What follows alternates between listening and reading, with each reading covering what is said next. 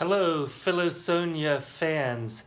My name is Brad Balliett, and I'm one of the composers being featured on May's concert.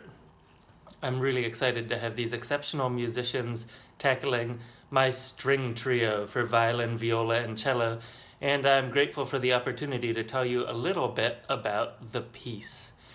This piece is uh, slightly older for me. It comes from about 2013, and I wrote it in France at what I affectionately call counterpoint camp. Uh, from time to time, I feel like I should sharpen my skills of counterpoint, voice leading, sight singing, and that kind of thing. And uh, this particular summer, I went to a program called European American Musical Alliance at the École Normale in Paris. And uh, as part of the program, we wrote for a string quartet in residence. And for some reason, sometimes being a little bit contrary as I am, I decided I'd rather tackle a string trio with the goal of making it sound as full and quartet like as possible, even with just three players. So a lot of the writing is thick with double stops where the players play two or three notes at the same time to get that nice full sound. I had in my ear the string trios of Beethoven and Dohnányi, which if you hear on the radio, you might call a string quartet without knowing that there are only three players because the writing is so magnificent and full, and that's what I was trying to achieve. The other thing that I was trying to achieve, maybe since it was at a program where we study so much Bach and other great uh, classical composers, was to try to make a piece that really hangs together well and is uh, born out of a single musical idea, which is the idea that you hear as soon as the piece starts.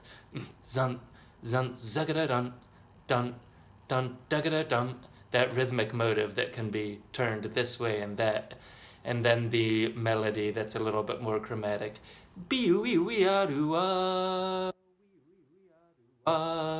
It's a kind of simple idea, but it uh, gave me a lot of room to try turning things upside down and this way and that, to try to get as much variety as possible as I could out of that little bit.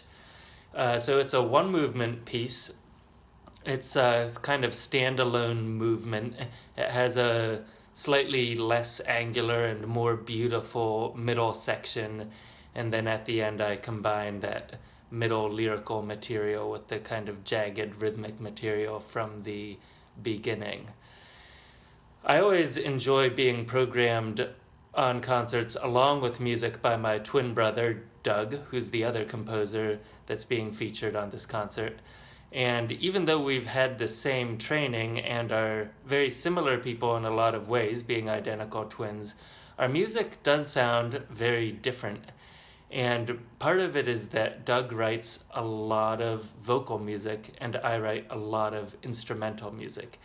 And Doug's music uh, sometimes makes stronger references to the pop world, and my music sometimes makes stronger references to modernist music, although this is not always the case by any means.